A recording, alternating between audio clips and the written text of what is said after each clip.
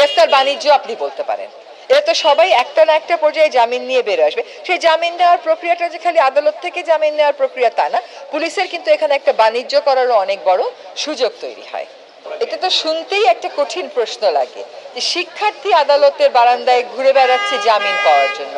শিক্ষার্থীর অপরাধ কি খুন করেছে, ডাকাতি করেছে, সন্ত্রাসী করেছে? কিছুই করেনি। সে কোটা বিরোধী একটা আন্দোলন করেছে বা তার সহকর্মীকে মেরে ফেলেছে, তার প্রতিবাদে সে নেমেছে। তার সহকর্মীকে আক্রমণ করেছে, তার প্রতিবাদে সে নেমেছে। সে তো ঠিক কাজটিই করেছে। সেজন্য তাকে আদালতের বারান্দায় বারান্দায় ঘুরতে হবে কেন? আমরা এখান থেকে যে আহ্বানটা জানাচ্ছি, আমি সেই একই আহ্বান জানাব যে সকল শিক্ষার্থীকে মুক্তি দেওয়া হোক, বিশেষ করে যাদের পরীক্ষা আছে, অতি দ্রুত তাদেরকে মুক্তি দিয়ে দেওয়া হোক।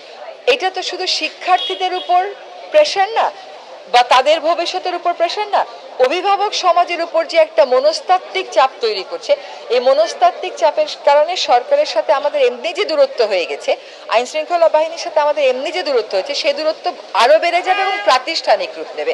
সরকারকে তো শিক্ষার্থী নিপীড়নের সকল অপকৌশল, কুটকৌশল থেকে বের হয়ে আসতে হবে। শিক্ষার্থীকে কখনো দমন করা যায় না।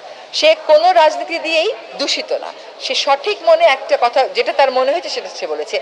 সেজন্য একটা স্বাধীন দেশে পরীক্ষার্থী, শিক্ষার্থী, তাকেও আটকে রাখতে হবে। তারও জামিন পাবে না সে বিচার ব্যবস্থা থেকে। আমরা আজকে উচ্চ আদালতের কাছে আহ্বান রেখেছি। উচ্চ আদালত আমরা অনেক সময় দেখেছি, বিনা বিচারে আটক, এই যে হেফাজতে রাখার আটক, নিরাপত্তার হেফাজতের আটক, এরকম আমরা যেহেতু উচ্চ আদালতকে আগেও দেখেছি, বিনা বিচারে আটক কাউকে মুক্তির ক্ষেত্রে স্বপ্রণোদিত হয়ে ব্যবস্থা নিতে, আমরা আশা করি এ সমস্ত ক্ষেত্রে উচ্চ আদালত স্বপ্রণোদিত হয়ে সকল শিক্ষার্থীকে মুক্তির ব্যবস্থা তো করবেনি বিশেষ করে যারা শিক্ষার্থী, তাদেরকে অতি দ্রুততার সাথে মুক্তির ব্যবস্থা করবেন।